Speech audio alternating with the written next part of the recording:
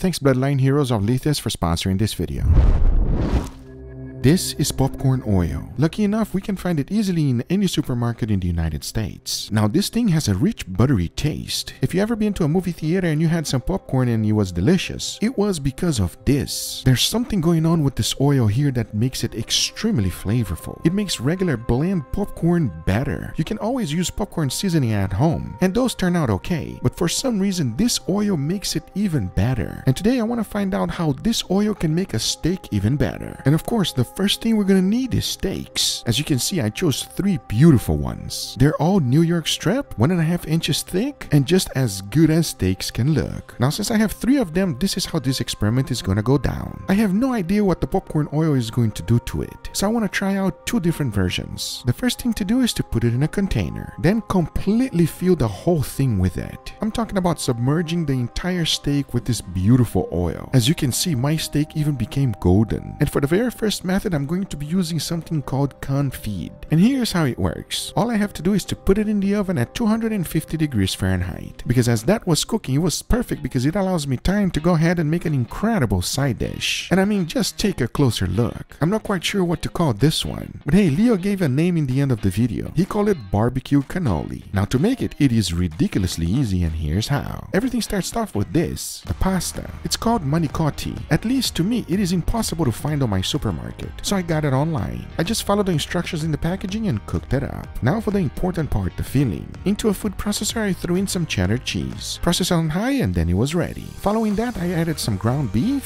followed by some minced garlic, a little bit of parsley, then salt and freshly ground black pepper. Put the cover on and blend everything on high. We want this to mix as much as possible, really creating a nice smooth paste. As the final thing to add to our filling is cream cheese, a whole entire block. Mix it on high once again, and that is our filling. The next step is to put everything into a bag. Then you want to cut out the tip, grab the noodle, and slowly fill everything up. Once that's done, grab some bacon and wrap the whole thing around. It does not get any easier than this, folks, as the next thing to do is to go ahead and bake it. You can definitely do this in the oven if you don't have a smoker, but come on now. We want to add additional flavor. So into the smoker you went at 300 degrees Fahrenheit. I let it cook in there for about 40 minutes. Once the time was up, I took it out and look, it is now almost ready because the next step is to add some barbecue sauce. I'm using a sweet one that I made at home, but you can use any one you like. Just make sure you are very generous with it. Then you want to put it back in the smoker for about 15 minutes. Take it out once again and add some shredded mozzarella cheese right on the edges. Get some more of that wonderful barbecue sauce and add it on top because all there's left to do is to throw in some parsley for coloring as now today's side dish is done. Friends, I don't say this very often, but this was crowned by Leo as the best side dish of the year so far. Just wait for you to see when we taste it because by now my fully cooked confit steak was ready and this is what it looks like. The internal temperature was reached to 120 degrees Fahrenheit. It is fully cooked, but as you can see, it just looks horrendous. But I'm pretty sure it's gonna taste very different. Now you gotta remember one thing, this steak has no seasoning at all. And the same thing goes with these two other steaks. And that's because I'm gonna be doing something I don't do very often, which is to season the steaks after they're cooked. Talking about that, since I have two others, here's how I'm gonna cook them. One, I'll be deep frying it in vegetable oil. Nothing special about that because it's gonna be air control. The middle steak is just gonna get a fast, quick sear. Yes, on the popcorn oil. The final steak, in the other hand, I'm going to completely deep fry the whole thing. The oil will be at 325, and once the temperature of 120 is reached, I'll take it out and slice it up to see which one is better. Because now I say it is enough talking and it is time for us to deep fry some steaks in popcorn oil and find out how good it really is. So let's do it.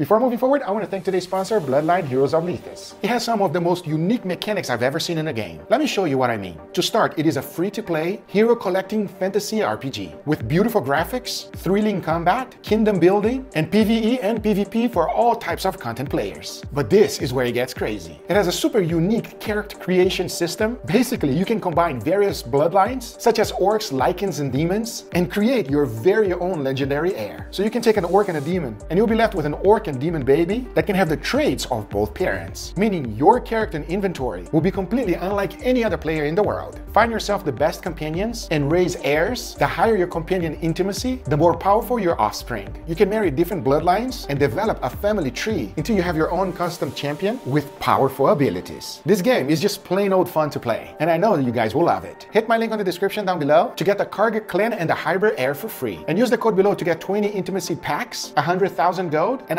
100 free diamonds. Thanks Bloodline Heroes of Lithas for sponsoring this video, but now let's get right back to it. All right, everybody, here we got our beautiful steak, incredible side dish. For the first time ever, I think I am more excited for a side dish than I am the steaks because that looks amazing. What does it look like? Can you even distinguish? It looks like cannoli. Cannoli, exactly.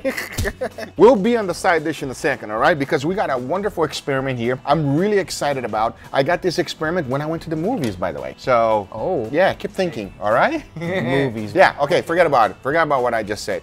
We're gonna go this direction. Dig in. Tender as hell, man. Perfectly medium rare, everybody. You see this beautiful crust? You can't get this crust very often. Deep Special fry? crust. Wow. Enough talking. Give me your honest opinion on this one. You guys ready? Yep. All right, let's see. Very first steak. Cheers, everybody. Cheers. Hmm. That's a good steak. It's just done right, everybody. This is a great steak, although I do miss that charcoal sear. The charcoal flavor. Exactly. These kids love the Charcoal flavor, everybody. We're charcoal addicts. extremely juicy, perfect crust. I think this might be one of my favorite videos because Guga's done something he's never done before, which is put some salt on the board for me. you guys have no idea, but I love salt. This man is addicted to salt, everybody. We have so many nicknames for him. The sodium savant, the salty savage. I don't. I can't. There's too many. Can we all agree that this is a nice, wonderful steak, perfectly cooked, and uh, it's air control? I highly recommend that steak. That's a good control. all right, let's go. Let's go for the second one. Please dig in. Give me an honest opinion on this one. I'm curious to find out how it tastes. You guys ready? all right, second one. Cheers, everybody. Cheers. Oh, wow. It's so different. Oh man, I like that one so much more than the control steak. You're right, Angel. Went down the wrong pipe. this one's a lot better than the last one. It has a lot more flavors. Yes, a lot more flavor. Agreed. The juices themselves that you get from the steak are creamier. It's a little bit more savory. It's a little bit rich. Whatever you did to it enhanced the flavors of the steak and just made it an overall better experience. I love this. See, I agree with Leo and all the things that he said right there, except for one thing. Which one? He said, It's a little bit rich. nah. It's a lot rich. It's, it's rich as hell, bro. what you guys are trying to say is that it is buttery. It has a Yes. buttery, buttery, buttery, buttery feeling, everybody. Oh, like butter, butter, butter. but I'll tell you one thing. This one tastes a lot better, and you are both right. I really enjoyed this steak right here. It gives more flavor, everybody. It's more flavorful. It's better. It's more delicious. Speaking of very delicious and better and all this stuff, I think this is a good time to uh-huh. cleanse. I, I see. You really want to go for it. Then let's go for it. You know, Leo has a jingle. Hmm. And I think you should know about it. Let me clear my throat, sorry. when the food is glistening, our bellies are a listening. Very good. Well, this one is definitely glistening. Let's go for it. Let's go for the side Let's do it. We're gonna give you an honest opinion on this side dish, everybody. Cheers. Cheers. Cheers. Oh, I rest my case, baby. It's so good. It's savory. It's sweet. Everything you're saying is going in one ear and out the other because I'm just focusing on all the flavors that I'm getting hit with by this side dish, and it's absolutely phenomenal, Guga. Like you knocked it out of the park with this is an absolute home run of a side dish. This might be the first video that I say this is my winner overall because that side dish is magic. Better than the steak so far. Number one, I need to shake your hand. Oh wow, you enjoy it. And number two, bring it in, brother. I That, really like it. that one right here, you're gonna make that for my birthday. No. This is top three side dish all time. wow. this is number one for me. Number one. Wow, Leo, that's a big statement. This is so good that I'm sad that I only have one bite left. that is absolutely delicious. Highly recommend doing the side dish. But now it's time for our final steak. You guys ready? Let's do it. All right, let's go for it. Dig in. Very last steak, everybody. Let's see. Cheers. Cheers. This is just like a different oil or butter or something else. The flavor isn't as in your face as the previous steak. In my opinion, takes away a little bit from the steak juices. It doesn't taste as beefy as the previous one, I agree, Leo. but still, it's an enjoyable steak. I already know who my winner is. Okay, I have a feeling that you're gonna go for the very second one. I'll, I'll uh, keep it a surprise for now. Yeah, the second one's the winner. and you? If the second one's the winner, Yes, we all agree. The thing is that this third one is, is very good. yeah, it's delicious. I- but the second one had a, uh, you know, like it's like, uh, It's like, "Ugh." it's like, uh, you, you know, it's like, By the way, it was deep fried in popcorn oil. This is what this experiment is all about. Have you ever been to the movies and you ate that popcorn? Isn't popcorn in the movies a lot better? yes, Huh? a hundred percent. it's. I think it's because you don't have to make it. No, it's because of the oil. Trust me, that thing has so many calories, everybody. They dunk the oil in there. would you try it? I would love to know because it does taste better. It's quite unique. It gives a buttery flavor on the mouth, especially after you swallow it. So it's nice. I hope you guys enjoyed this video. If you did enjoy, hit that thumbs up. If you're not a subscriber, be sure to subscribe for future videos. Remember, if you are interested in anything I use, everything's always in the description down below. Thank you so much for watching. We'll see you guys on the next one. Take care, everybody. Bye-bye.